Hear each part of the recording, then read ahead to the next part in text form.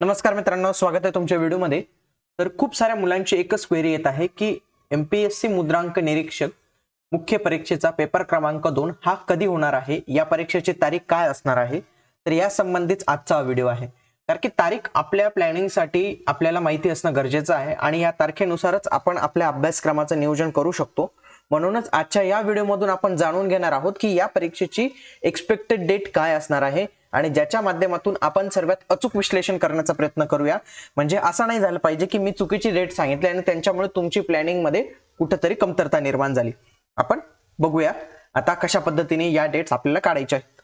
सर्वप्रथम आपल्याला ज्या आतापर्यंत डेट्स आयोगाने दिलेल्या आहेत त्या पी एस आयच्या दिलेल्या आहेत. P S I S T I आणि ए एस ओ या तीन पदाच्या दिलेल्या आहेत. सब रजिस्टर या पदाची दिलेली नाही. ओके बघा हे एमपीएससीचं टाइम टेबल आहे. याच्यामध्ये पोलीस उपनिरीक्षक ही परीक्षा कधी होणार आहे? तर एकतीस डिसेंबर दोन हजार बावीसला होणार आहे. एस टी आयची परीक्षा कधी होणार आहे? तर ती सात जानेवारी दोन हजार तेवीसला होणार आहे. एएसओ ची परीक्षा कधी होणार आहे? तर ती चौदा जानेवारी दोन हजार तेवीस. आणखी जर थोडंसं पॅटर्न बघायचं झालं बघा हे कॅलेंडर आपण ओपन करूया दोन हजार तेवीसचं. बघा एकतीस डिसेंबर दोन हजार बावीसला जी पी एस आयची परीक्षा होणार आहे ती शनिवारी होणार आहे. ओके शनिवारी. आलं लक्षात?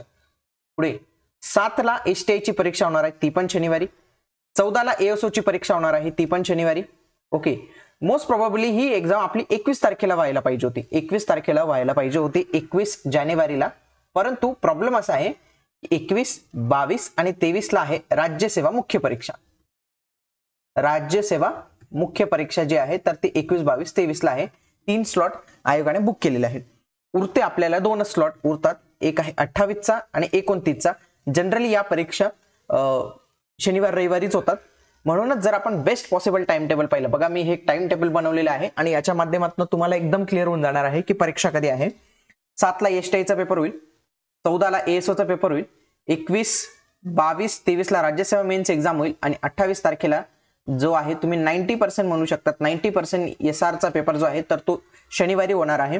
आणि जर शनिवारी नाही झाला तर तो मोस्ट प्रॉबेबली रविवारी होणार आहे. ओके एकोणतीस तारखेला होणार आहे. म्हणजे तुमचं काही जास्त नुकसान पण होणार नाही की जर डेट्समध्ये चेंज झाली तर तुम्ही असं मानून चला की नव्वद टक्के जे आहे तर ते अठ्ठावीस जानेवारीला हा पेपर होण्याची शक्यता आहे आणि फक्त दहा पर्सेंटेज चान्सेस आहे की तो एकोणतीस जानेवारीला होणार आहे.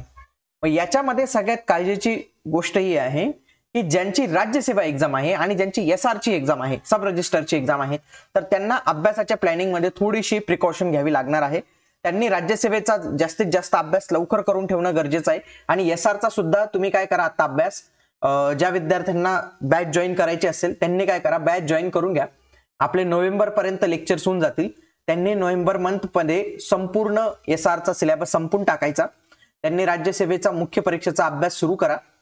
म्हणजे त्या त्याच्या त्याच्याला चांगली रिव्हिजन द्या.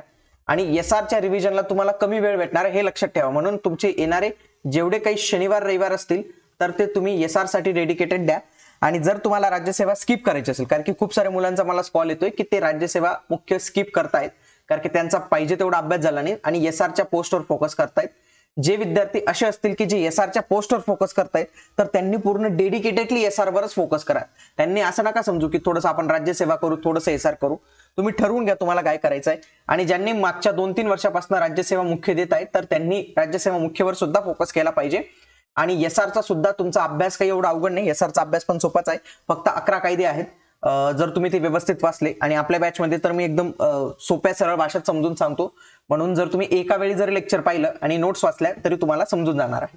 ठीक आहे? तर आपण आपल्या अनालिसिसवरून एकच कन्क्लुजन काढू शकतो की अठ्ठावीस जानेवारीला ही एक्झाम होणार आहे. राज्यसेवेच्या विद्यार्थ्यांसाठी ही थोडीशी चिंतेची बाब आहे कारण की त्यांना थोडंसं त्यांचा प्लॅनिंगमध्ये चेंजेस करावे लागणार आहेत.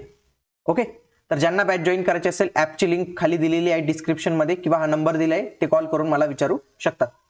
भेटूया पुढच्या व्हिडिओमध्ये तोपर्यंत जय हिंद जय महाराष्ट्र.